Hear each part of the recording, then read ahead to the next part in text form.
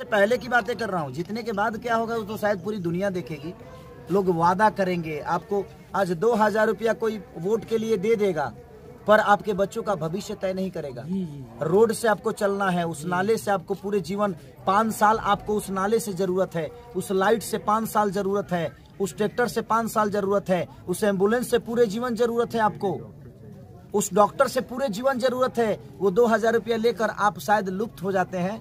और वही दो हज़ार आपको जीवन को लगता है जी, बहुत कुछ है बट वो दो हज़ार आपके जीवन का भविष्य नहीं है।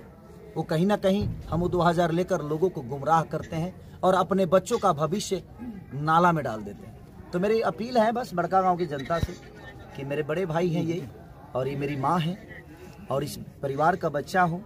आपको जो भी तकलीफ़ होगी उसका जिम्मेदार मैं रहूँगा और जीतने से पहले मैं ये सारा काम कराऊँगा जो जो लोग जीतने के बाद करते हैं।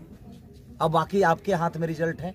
आप किसको चुनाव करते हैं आप किसको अपना वोट देते हैं और किसको अपना मत और किसको किसको अपने विश्वास में लेते हैं आपका मत है। लेकिन अगर ऐसा हो गया तो मुझे लगता है कि अगर कुछ ऊपर नीचा हुआ तो मैं मुझे लगता है कि फिर कोई स्टार या कोई आदमी अपने जनता और अपने पंचायत के लिए दोबारा कोशिश ऐसा नहीं करेगा। तो ये आपका दायित्व है जैसे लोग आपके पूरे जीवन में रहें आपके जीवन में रहें आपके घर में रहें और विकास सिंह बीरप्पन की पूरी दुनिया दीवानी है और ये बड़का गाँव के बेटा है तो इससे बड़ा सौभाग्य क्या हो सकता है? Love you all thank you